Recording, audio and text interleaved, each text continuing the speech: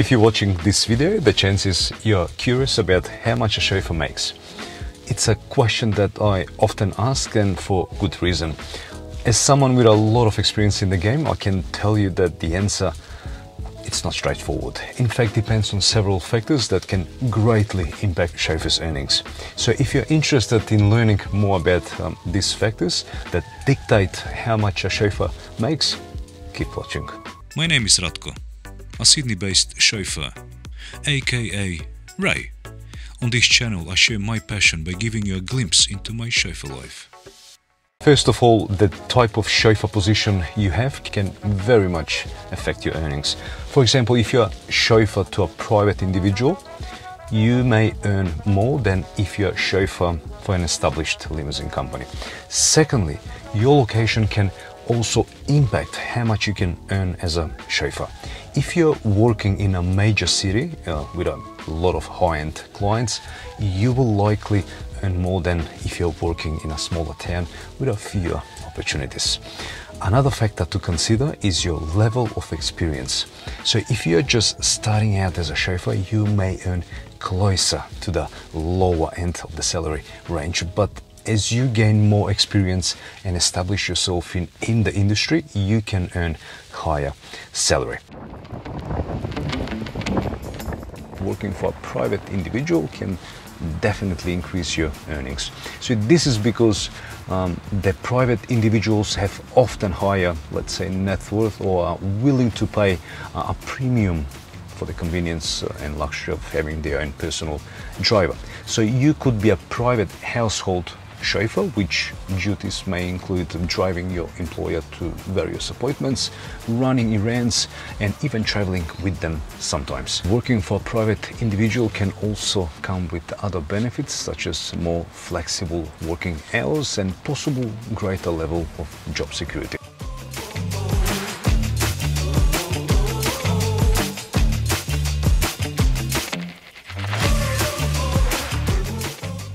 Now, on the other side, working for an established limousine company may not pay as well as working for a private individual, but can still provide a steady income. So as a chauffeur for a limousine company, your main responsibility would be to transport clients to and from their desired locations, such as airports, hotels, or events.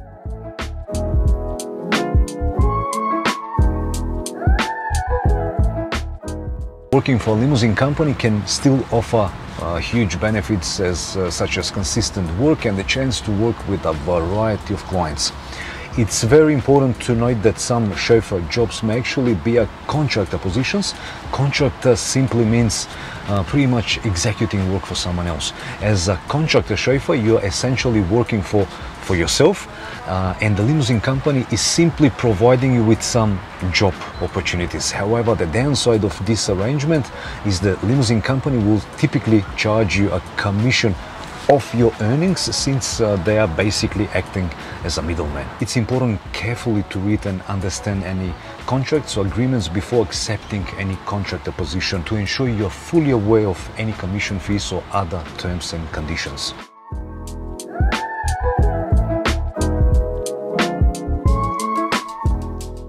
The type of chauffeur job you have can also impact the level of professionalism and discretion required.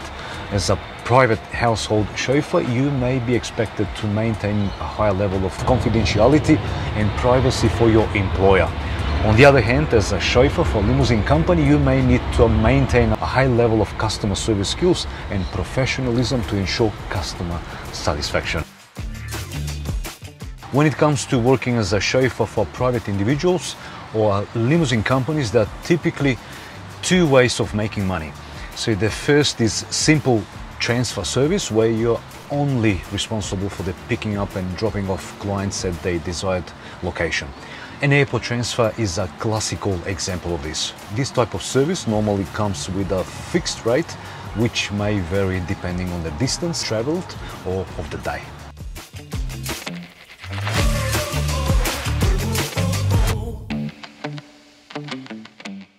The second type of work is known as uh, hourly hire or as directed in Australia or simply having a vehicle on standby in some other places. So this is when a client hires you and your vehicle for a set number of um, hours during which time you are at day disposal or, or, or various reasons such as attending multiple events or running errands. It depends on their requirement. In this case, an hourly rate is charged, which can be more profitable for the for the chauffeur. As a contractor chauffeur, you may have the opportunity to take on both types of work. However, the hourly hire or as directed uh, job can be more profitable as long as you have that consistent workflow.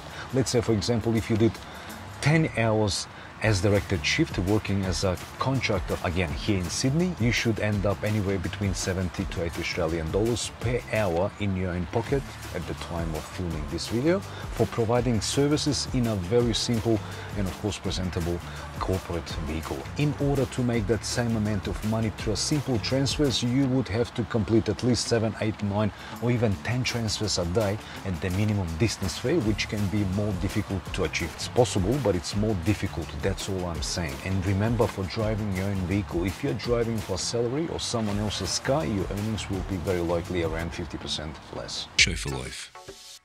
As a chauffeur, you will have a big chance to earn tips and also bonuses in the in addition to your base pay.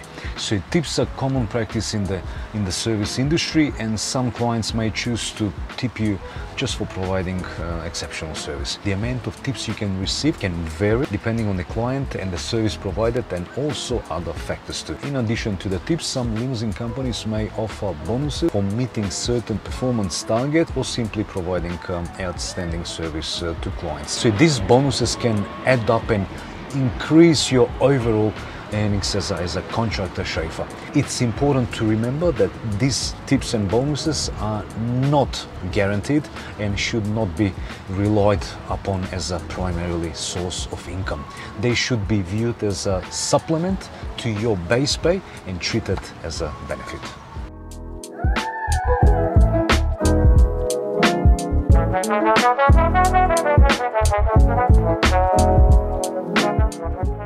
So combining both types of private individual and chauffeur work as a, as a contractor simply transfers uh, and hourly hires plus your tips can be a great way to maximize your earnings. So by offering both options to your clients, you can cater to their specific needs and increase your chances of getting hired. This can definitely lead to more consistent work and, and higher income overall.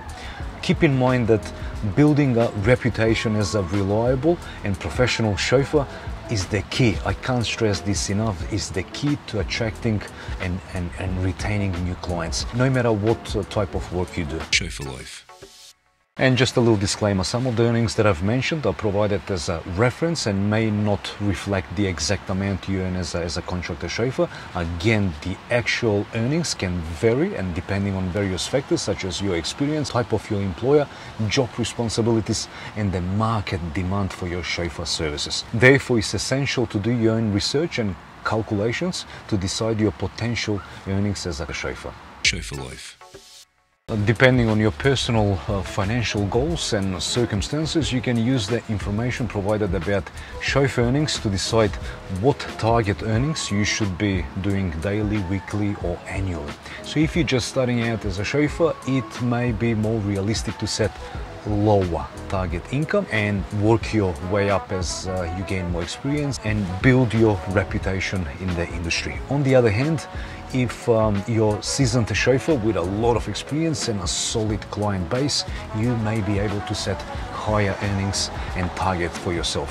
Also keep in mind that chauffeur work can be so unpredictable at times with weeks uh, being busier than others. This means it's a good idea to have a flexible target earnings goal and to be prepared and adjusted uh, based on your actual earnings. Chauffeur Life.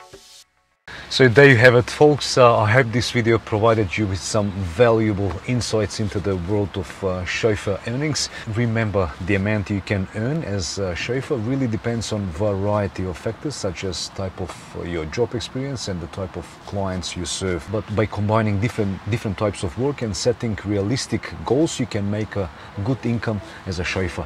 If you have any questions feel free to drop uh, me a comment down below. I'll do my best to answer any questions you might have. Thanks for watching.